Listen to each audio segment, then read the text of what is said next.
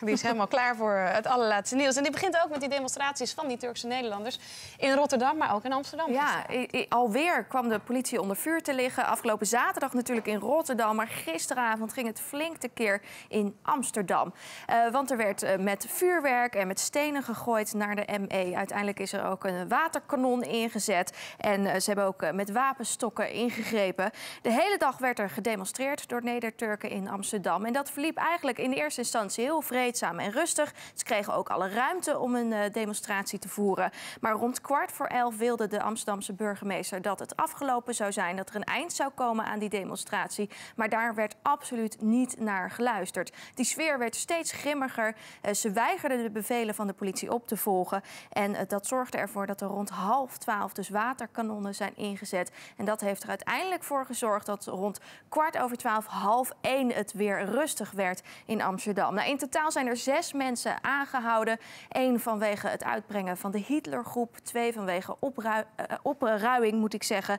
En uh, één voor het beledigen van een politieagent. En nog eens twee voor het uh, gooien met stenen. In Den Haag was trouwens ook een demonstratie. Er was ook even de angst dat het uit de hand zou lopen. Maar dat is met een sisser afgelopen. Ja, dan ga ik toch even Sibran Buma als politicus benaderen.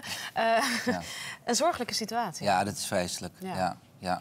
Deze mensen die de straat op gaan, wonen in Nederland, uh, zijn van Turkse afkomst, maar zijn nu als het ware als Turken tegen de Nederlandse samenleving aan het demonstreren. Ik vind dat een bewijs van mislukte integratie. Ik vind oh. het vreselijk. Ja. Overschaduwt het nu onze verkiezingen bijna? Nou ja, het, is, het gebeurt in de aanloop naar die verkiezingen. Dat is een feit. En dit is de werkelijkheid waar we als land in leven.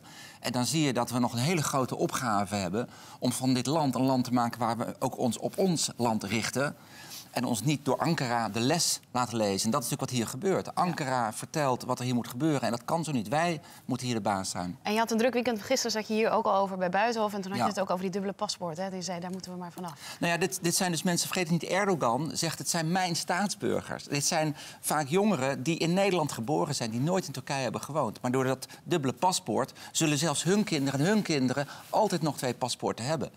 En wat er nu mis aan het gaan is, is dat een land als Turkije zegt... ja, twee paspoorten Turkse deel is het belangrijkste. Daar heb ik invloed op.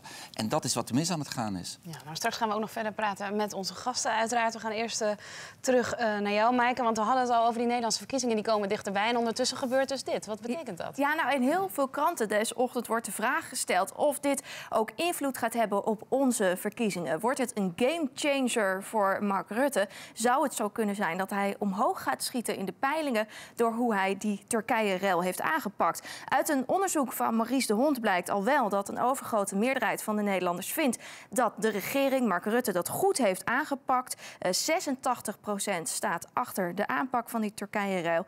En uh, Mark Rutte heeft zich als minister-president laten gelden. En het zou dus mogelijk kunnen zijn dat hij omhoog gaat schieten in de peilingen. Maar dat moeten we natuurlijk nog gaan afwachten, want afwachten, want die peilingen zijn er nog niet. De Telegraaf loopt er al wel op vooruit. De Telegraaf schrijft: het kan wel eens een tegenvaller gaan worden voor partijen zoals het CDA en D66, die nou juist zo goed gingen, die nou net omhoog gingen in de ja, peilingen. Want jullie kruipen dichter tegen de VVD aan. Dus Zeker. Niet om oneerbiedig over deze situatie, die natuurlijk heel ernstig, maar voor jullie campagne is het is niet zo handig. Nou, ik moet zeggen, de werkelijkheid gaat, gaat altijd voor in een campagne. Uh, dit gaat over wat er op dit moment aan het gebeuren is in Nederland. En ik maak mij daar grote zorgen over. En als we nu als Nederland niet onze rug recht houden dan krijgen we in de toekomst problemen. Dus mijn stelling is dat we niet alleen tot 15 maart, maar daar wil ik ook voor staan, ook na 15 maart, als Nederland onze rug recht houden richting Turkije. Helder. Gaan we terug naar jou, Maaike, naar een heel ander